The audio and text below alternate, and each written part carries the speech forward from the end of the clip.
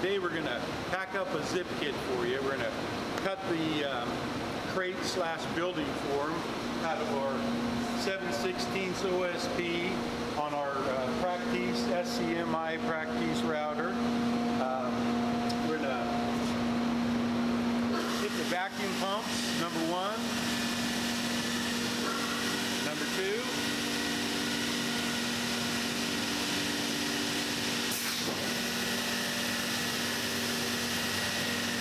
Check depth, 0.74. Here we go.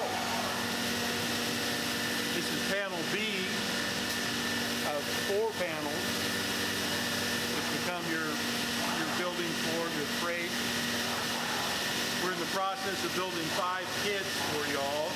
So uh, get your orders in. You could um, want to get out of town and do some boat shows maybe later this fall. So uh, let's get these five built and shipped to you, and then uh, we'll see you out on the road.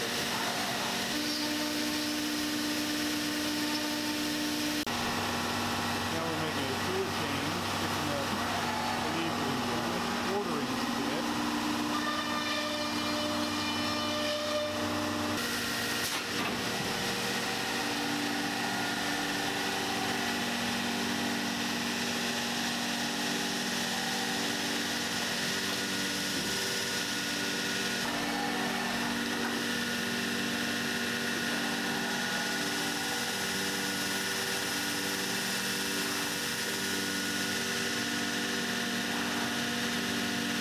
Now you're ready for the next panel.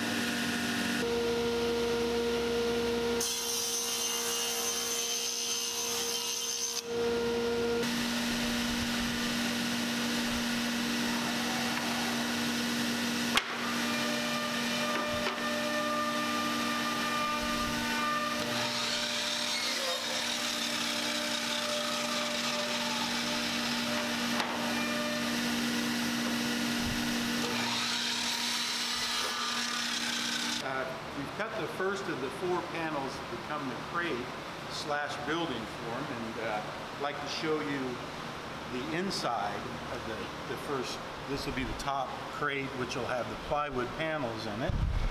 And uh, what we've done is we've cut partially through and then scored where you need to come back and cut when you receive this panel at your shop.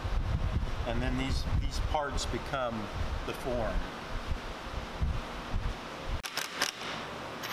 So when you receive your crate, you're gonna have to back these screws out and retain the panels.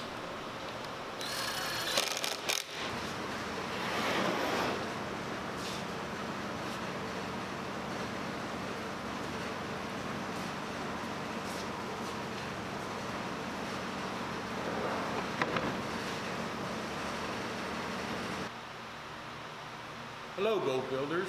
I just brought in this Sapele. We have about 250 board feet here. We have uh, four quarter Sapele. We have some of it that is uh, quarter sawn, some that is flat sawn. We have some that's uh, milled to 25, 30 seconds, and some that's skip milled at 15 sixteenths. I like to get the 15 sixteenths for the uh, battens and the keel um, of the bottom of the boat and I use the uh, 25, 30 seconds. We machine down to three quarters of an inch for the frames and the uh, chine.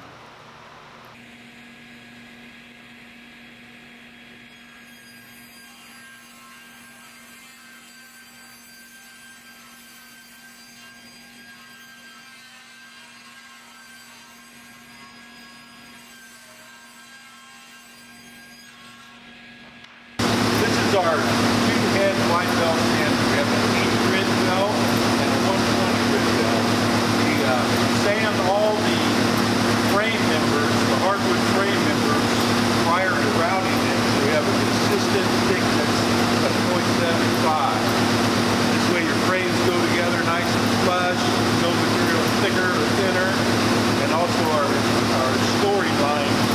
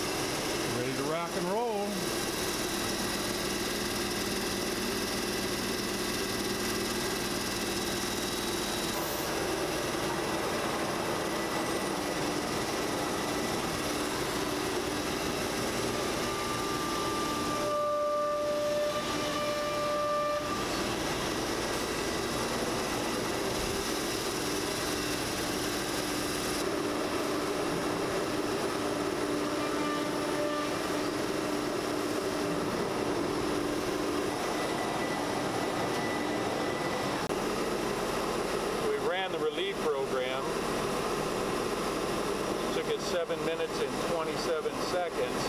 It's going to save us a lot of grief in the long run. Broken bits, dislodged material. What we're going to do is we're going to leave the vacuum on and remove the loose pieces from our spoil board. We have the nest program loaded and ready to go. We've got our vacuum pumps running.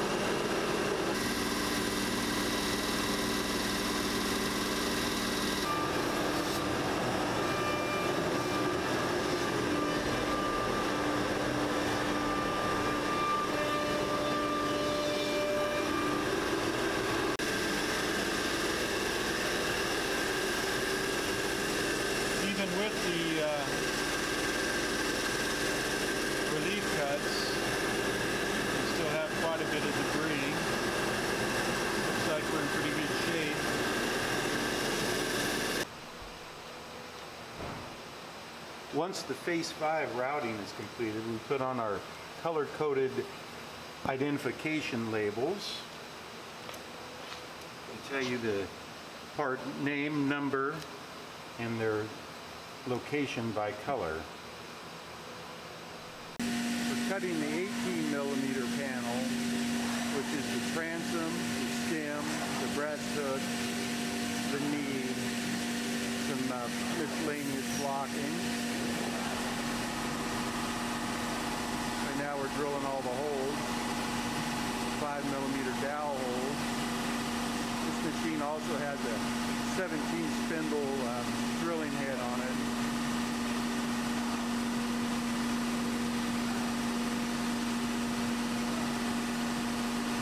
See, we're just coming back and taking that final pass.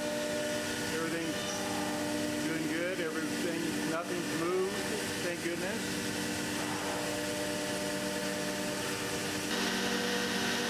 To match the grain on the forward deck panels as much as possible and um, try to get the grain direction going in the same orientation.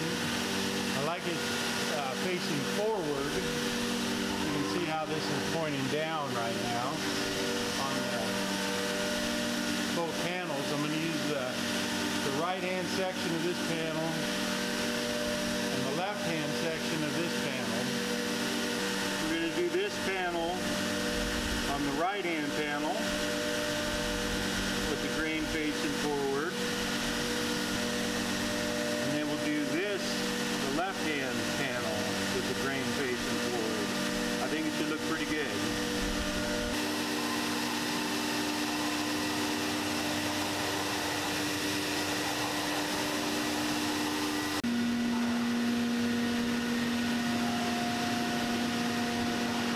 think uh, Norman's deck turned out really nice. I liked our, uh, our grain pattern.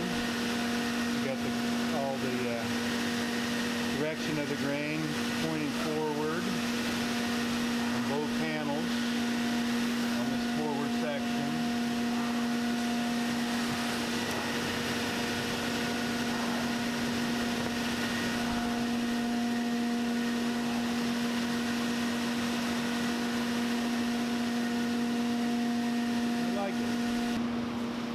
Hello boat builders. We're going to cut our approximately 1 to 10 scarf joint that we, uh, we need for our shear clamps because the shear clamps are approximately 15 feet long and uh, we can't always get the 16 foot material that we need. So uh, we uh, set up this little jig for cutting our, uh, our angle on our uh, table saw.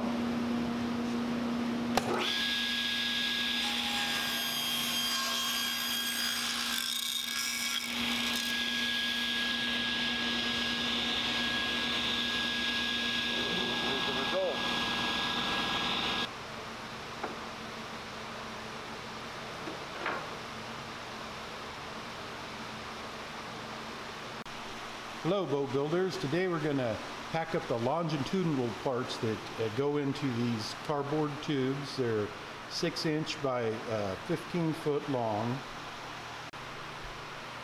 We're going to start with the shear clamps. The shear clamps are the longest parts of the boat and they are um, 5 eighths material by inch and a quarter. They're numbered as you can see, labeled. Here you can see the scarf joint in this particular piece.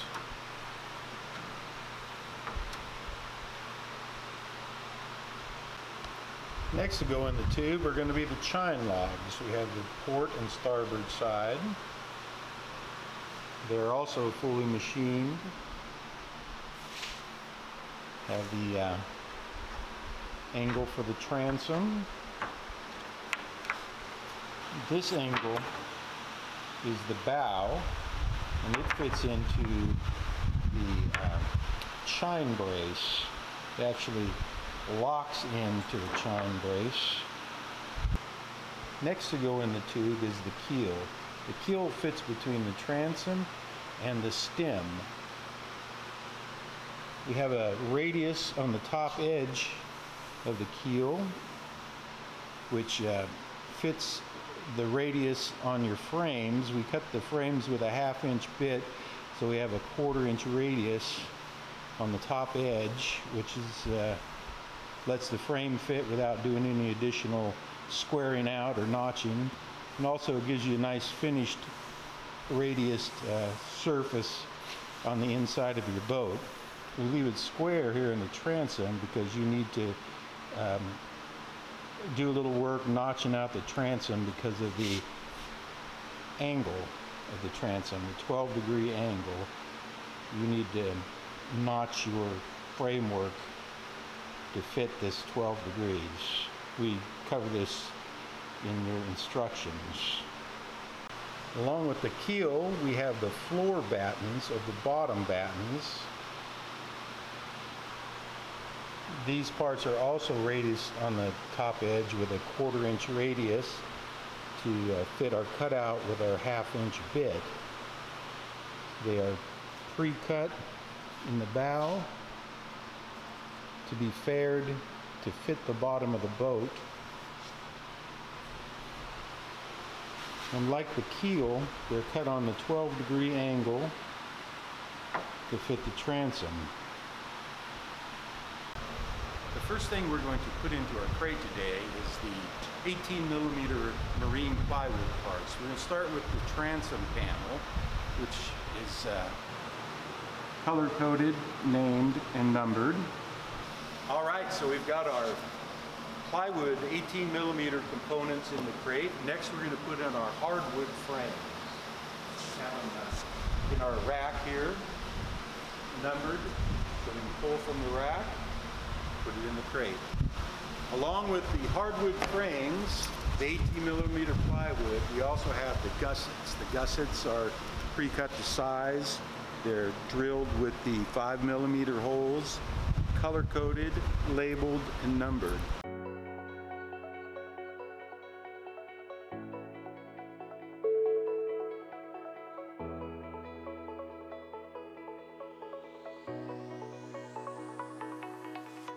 Now we have our bottom crate full with the lid on it. We're gonna put our top crate on top of the bottom crate. The top crate is a little narrower and we're gonna fill it up with our plywood planking. As we begin to fill our top crate with our plywood planking, we uh, first put down a sheet of cardboard, a little protection, and then uh, we're going to start with our panel 802, which is the forward side starboard.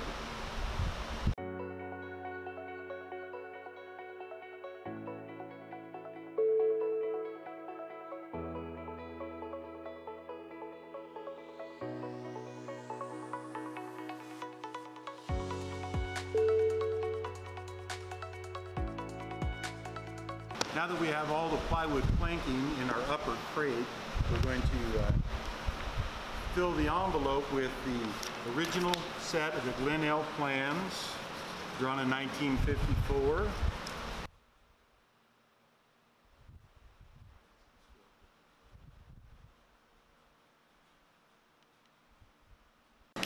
Okay, we're putting the final touches on your kit.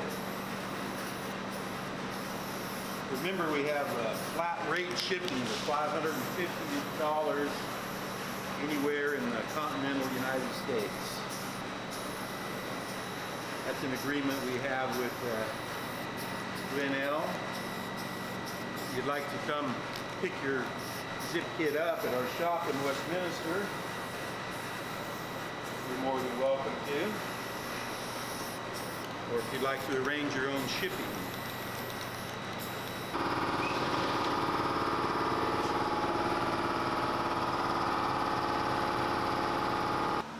We've got your kit ready to ship. Please give us a call at 714-206-5222 or visit us at our website zipkit.com, three Z's, or visit our friends at Glen-L Marine and they'll set you up with a kit, $550 shipping in the continental United States. You've got your kit ready to roll. Give us a call.